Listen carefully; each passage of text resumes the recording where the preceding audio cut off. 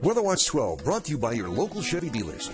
Get behind the wheel of a Consumer's Digest Best Buy three years in a row. The Chevy Equinox offers 32 miles per gallon highway, more rear seat legroom, and it's top safety pick.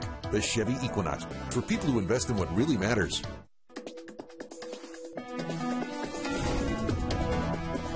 Still keeping it warm and muggy to start this work week, and we do need some rain. Just a slight chance of an isolated shower or thunder shower into Monday evening, otherwise clearing skies. And if we miss out on rain this evening, we have to wait a long time before we even have another opportunity. So things are getting very, very dry. Unfortunately, most stay dry. Clearing skies tonight, 58 degrees. West to northwest winds continue a little strong, around 10 to 20 miles per hour. A cold front is sweeping through the area this evening and into tonight, and that will usher in a whole different air mass than what we dealt with for Monday. 72 on Monday for the high.